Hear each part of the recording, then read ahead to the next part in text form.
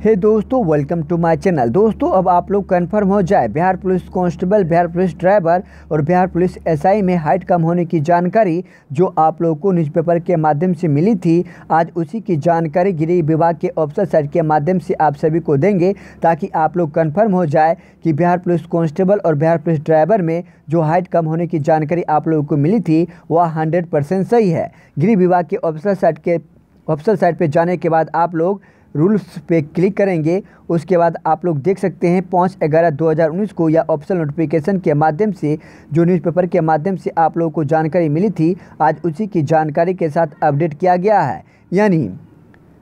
आरक्षी पिछड़ा वर्ग के पुरुष उम्मीदवारों के लिए 155 सेंटीमीटर कर दी गई है। अत्यंत पिछड़ा वर्ग के पुरुष उम्मीदवारों के लिए 160 सेंटीमीटर कर दी है। अनुसूचित जाति एवं अनुसूचित जनजाति के पुरुषों के लिए 107 सेंटीमीटर कर दी गई है और सभी वर्ग के महिलाओं के उम्मीदवारों के लिए एक सौ पचपन सेंटीमीटर कर दी गई है, जो कि जानकारी ऑफिशियल है और इसी के आधार पर अब एस कांस्टेबल और ड्राइवर की वैकेंसी में